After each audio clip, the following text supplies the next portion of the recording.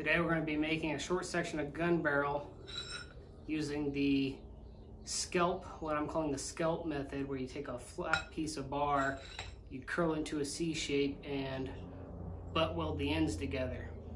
Now this is six inches of quarter inch by two inch flat stock.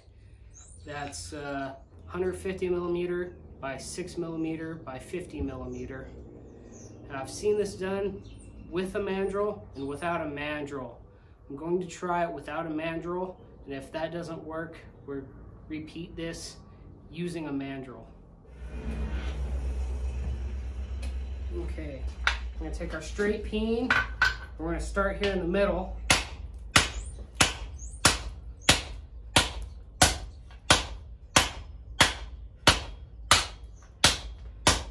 Start curling this around.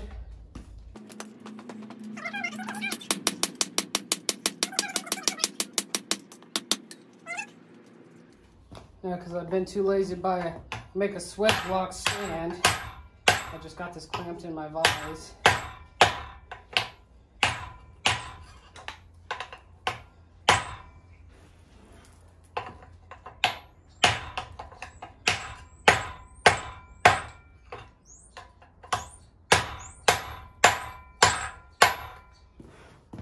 And we want to try and keep this as free a scale as we can.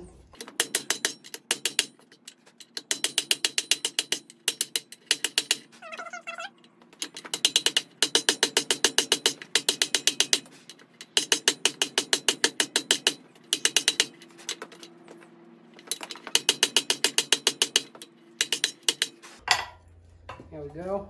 Got our tube pretty well established. Close it up next heat. Now that we're this far, we're going to give it a brushing.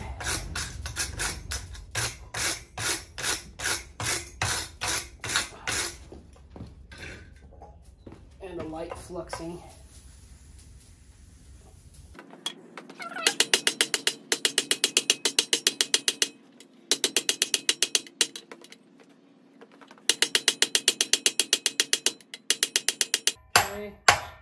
Now that we have the ends butted together, we're gonna oval this out a little bit.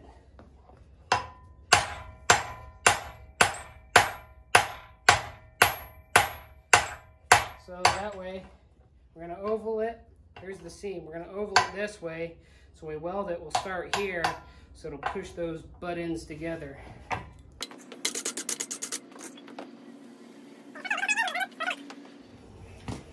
This is mild steel. Don't be afraid to let it sparkle.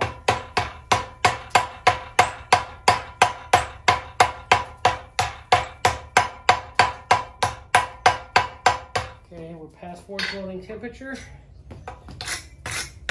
Brush off the old flux. And on with the new flux.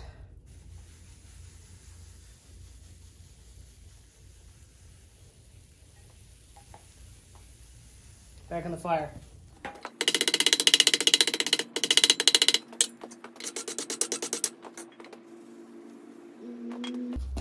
We've got this end of the tube welded. This half of the tube, I should say. Now we're working on this half.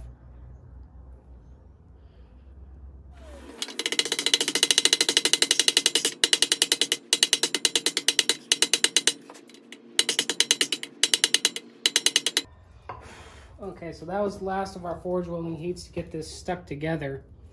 Now, every heat from now on is going to be a forge welding heat, but we're going to start rounding up this profile. And since I only made this out of quarter inch, uh, if I do this for the actual rifle barrel, I'm going to make it out of 3 eighths of an inch stock or 10 millimeter stock. Since this is just quarter inch or 6 mil, I'm going to leave this profile round to maximize the wall thickness for testing.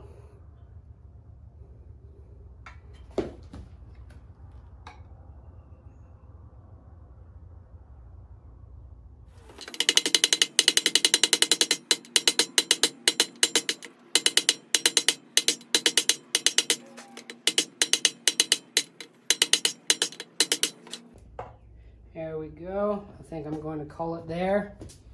Next, we'll take it to the anvil and straighten it.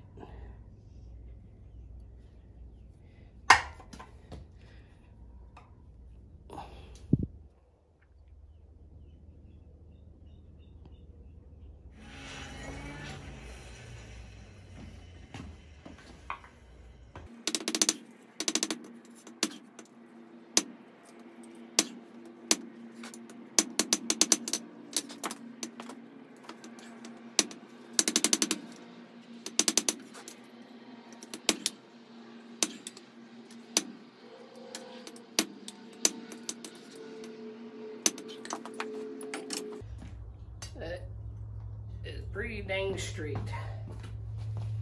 Now we have about a 5 16 bore. That's about 8 millimeters.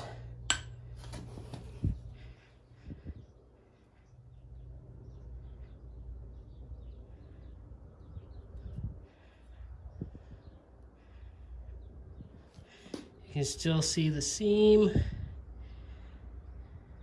That's to be expected because the two ends were rounded.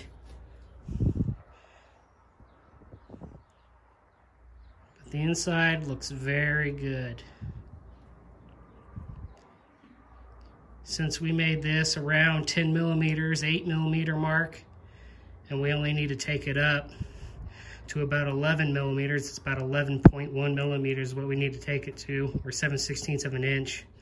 We don't have much material that needs to be removed here.